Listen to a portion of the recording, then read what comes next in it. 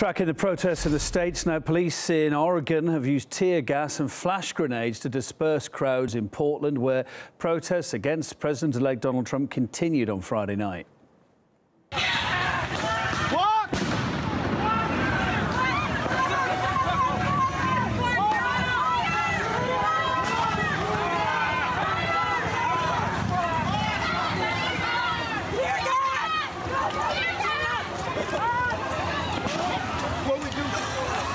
There, at least one person was injured in a shooting uh, in the demonstrations in Portland, too.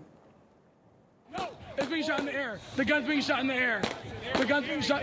Someone got shot. Someone got shot. As was a scene on a bridge. Police used pepper spray on the crowds and made several arrests. Officers urged protesters to leave the area immediately. The rallies descended into violence in the city on Thursday night when protesters smashed cars and shop fronts. The police said dangerous and criminal behaviour led them to redefine the gatherings as riots. There have been protests uh, in other places as well, dozens of other cities. In fact, that's a scene in New York. It's all centering around the uh, Trump building for the last couple of days. Most of those protests have been peaceful, but there have been some arrests. Let's switch now to Florida, Miami. People halted traffic on two major highways Friday night. Well, uh, elsewhere in Washington, a tunnel was blocked. People uh, chanting anti-Trump slogans there too.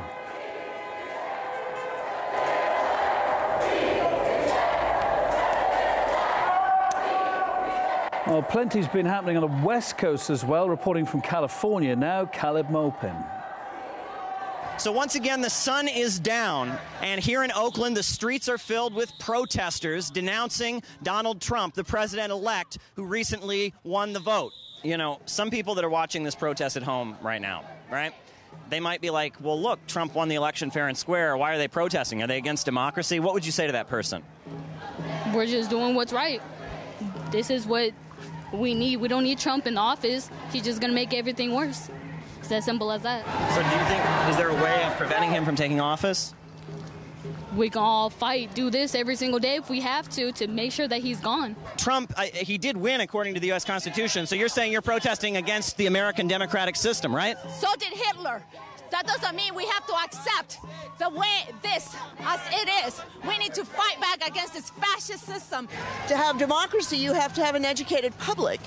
And the public schools have been pro uh, progressively defunded both by Republicans and Democrats. And so the, the, the, system as it is isn't promoting the democracy we have in our Constitution. So the crowd of protesters has marched all the way up toward the highway. And as you can see, right in front of me, there's a line of police with riot gear on, shields, clubs at their sides, to prevent the protesters from getting onto the highway. Now the protesters are, are turning around in face of this, this crowd of police with, with clubs who are blocking them from getting onto the highway, as they've done on previous evenings uh, in the protests in the aftermath of Donald Trump's election.